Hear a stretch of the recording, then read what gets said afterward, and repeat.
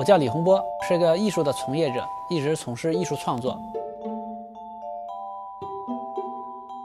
纸是比较大家熟悉的材料它又是比较容易得到。那我恰恰选择纸张的原因就是因为我比较熟悉纸张我一直在应用纸张。因为纸张呢又是中国的重要的文化遗产那它对现代的文明起到了非常大的作用。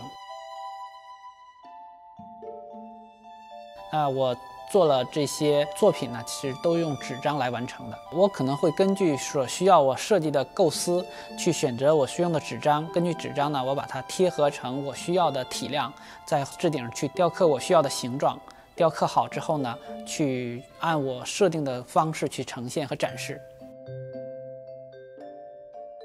现在整个这个展厅大概有两千把。枪组成，呃，我制作这个作品用了大概两年时间。纸的出现一直到现在，每时每刻人们都在利用纸，在满足生活的应用，因为它是最廉价的嘛，所以这个时候呢，就产生了很多很多艺术的样式。